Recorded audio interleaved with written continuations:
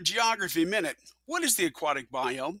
Just a reminder that a biome is a place on Earth that shares the same type of climate, plant life, and animal life over a large area of land. Every place on Earth is part of one biome or another. There are five major biomes in the world. Today, we'll cover the aquatic biome. Since water covers nearly 75% of the Earth's surface in the forms of oceans, lakes, rivers, etc., the aquatic biome is definitely the largest biome out there.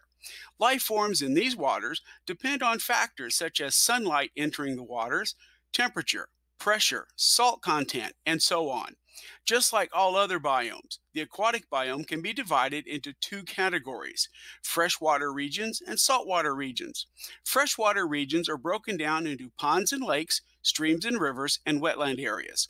Saltwater regions are broken down into the oceans, coral reefs, and estuaries. Well, I hope this has helped because that's your Geography Minute.